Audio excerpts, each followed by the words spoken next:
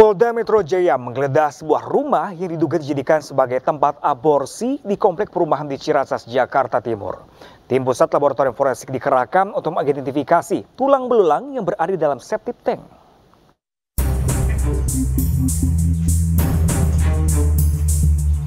Aparat kepolisian dari Polda Metro Jaya menggerebek sebuah rumah yang diduga dijadikan tempat aborsi di Komplek Gardenia Ciracas, Jakarta Timur, Kamis siang.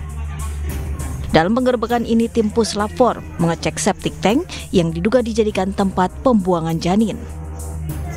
Garis polisi juga terpasang di area rumah dan kendaraan roda 4 yang terparkir. Sejumlah saksi juga diperiksa, termasuk ketua RT setempat.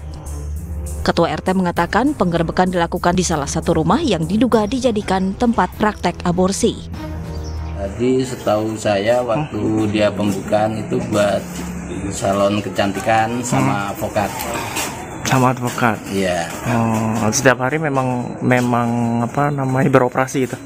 ya kita sih kurang kurang tahu kok operasinya itu. Hmm. Tapi pada saat digerebek tadi ada ada apa namanya yang penghuninya gitu yang Ada. diamankan nggak Pak RT? Ya, Berapa orang Pak RT? tujuh orang. Dalam penggerbekan, tujuh orang penghuni rumah diamankan polisi. Hingga saat ini penggerbekan masih terus dilakukan untuk mencari sisa-sisa tulang dan barang bukti lainnya.